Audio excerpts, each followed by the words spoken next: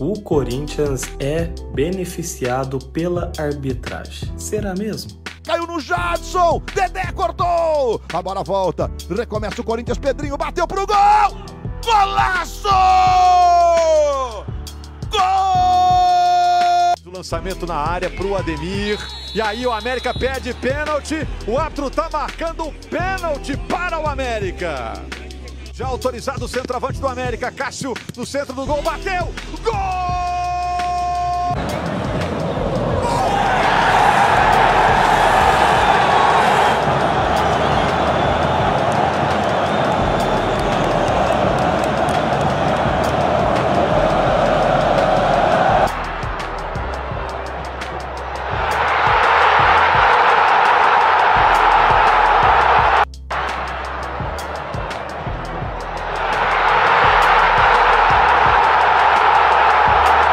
Gente sabe que no futebol tem erros e acertos, mas você, torcedor rival, torcedor anti, falar que o Corinthians ele só é beneficiado pela arbitragem é de uma tremenda sacanagem.